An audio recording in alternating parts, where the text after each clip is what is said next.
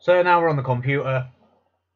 I'm going to take the USB cable, plug it into the quadcopter, and then plug it into the computer. And you should see up here, it's automatically connected. It went onto COM port 3. We've got a Matek 411 board, and we're currently running Betaflight 3.5.5. So when you're going onto ports, you're going to look, you've got UART serial receive, so that should be your receiver that's connected on there. Um, UART2 should be where the VTX Smart Audio is, so we're going to go over here to peripherals, and we're going to select TBS Smart Audio, hit save and reboot. We'll then go on to the configuration tab. Um, I'm going to run motor direction reversed, so we'll select that. We'll turn off barometer as that's not going to be used.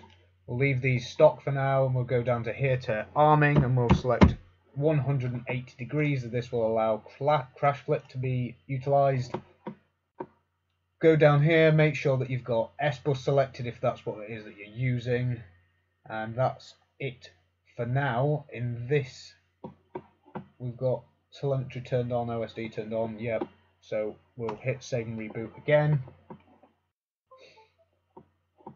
So from here we'll look at power and battery. Yeah. Yeah these seem fairly conservative. I'm going to be using a 450 milliamp hour battery so we'll set that for 400 milliamp hours and we'll see whether that works Save that. Moving on.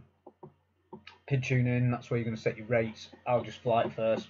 I'll see how it feels. Um, modes. Okay, so it's got angle mode set up right now. So for this, you're going to need to use your transmitter. So if you turn on your transmitter, go to the receiver tab, and we're going to make sure that the receiver is actually bound at this point. And right now it's looking like it is not working. Aha, right, so it took a couple of seconds there, but as you can see now, I've got it all set up correctly. So the one thing I had to do was to go to this tab here and select Spektrum instead of FrSky because I use TAER instead of AETR. So leave that. You check that yaw pitch, roll, your and throttle all move on the correct channels and then make sure that your aux channels are where you actually want them to be. So I've got this one to ARM, this one for modes, and apparently, yep, and three is going to be my buzzer. So checking that those switches move the correct channels that you want them to move, you then progress onto the mode screen. So I'm going to select this one and then hit the arm switch and then I'm going to move this slider over to there. So in the up position I'm armed, in the down position I am disarmed. Angle mode, I will move that down here and that is in angle mode there and it is not in angle mode over here. So hit save there, and then it'll go yellow once you've got it correct. So right now I'm in angle mode, and I'm now should be armed. That's it won't arm because it's got arm locks on.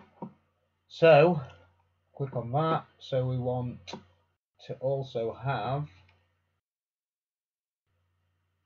Oh, like I say, acro mode is going to be in the other two switch positions. We'll add horizon in because I do use it sometimes.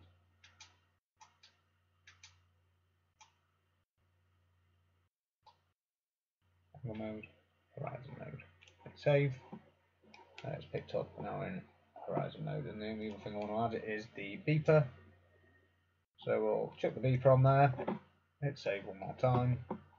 Um, ah, also would like to add crash flip, which is here. I'm going to have that on the same switch as the beeper, so it beeps and crash flips at the same time. And hit save, that's good. So finally we're going to go over to the motor tab. What we're going to do is take the props off, or don't fit the props in the first place. Flick this switch here. I'm going to move this, or click it, and then use the up arrow, and that will move it until you hear the motors start to rotate. For this you have to have the battery plugged in, so 1050 will do it. The motor's rotating, I'll then use a piece of plastic or piece of paper and push it gently into the motor and see which way the motor deflects it and then work out whether the motor's running clockwise or anti-clockwise. So on mine, all of the motors are currently running anti-clockwise, so I'll then need to move over to BLHeli and remap them so that they're moving in the correct direction. So we can turn it off, disconnect, and close down Betaflight.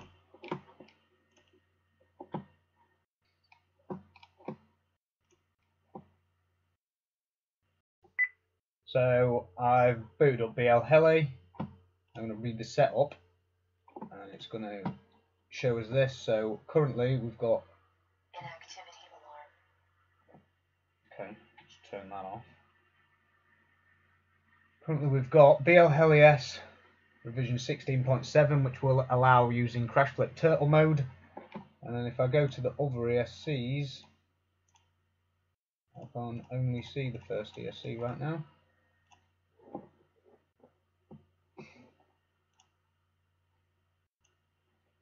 Hmm, interesting, so it's only seeing one ESC.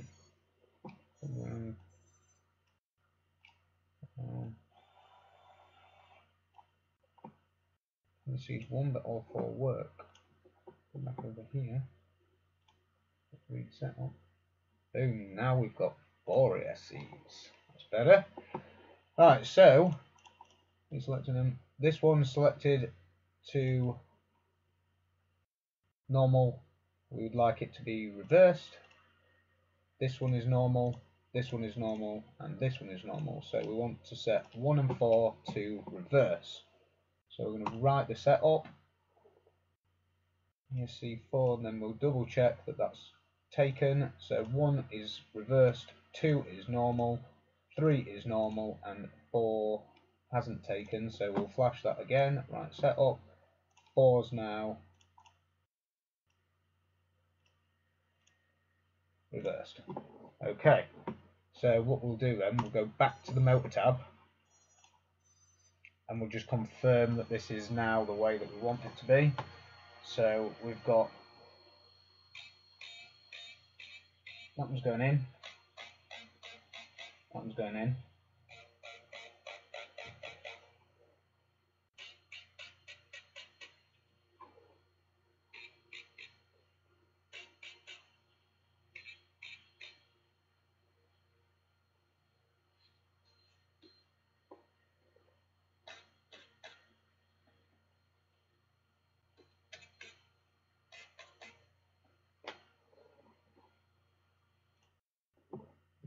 Okay, so I've done it the wrong way round, and what I actually wanted to do was the opposite of what I've done. And that's why you confirm these things.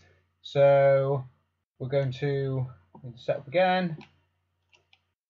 I'm going to select number one. I'm going to set that to normal.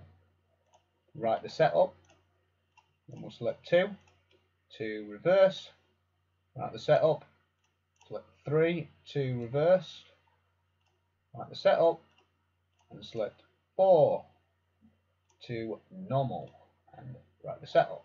So double checking, we've got normal, reversed, reversed, and normal. So that should now be the correct way around. Going back over here again. So again, this is for props out. So if you want them to run props in, then you do it the other way around.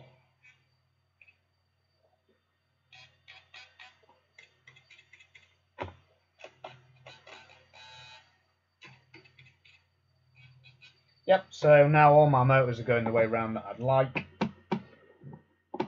So the next thing to do is going to be a flight test.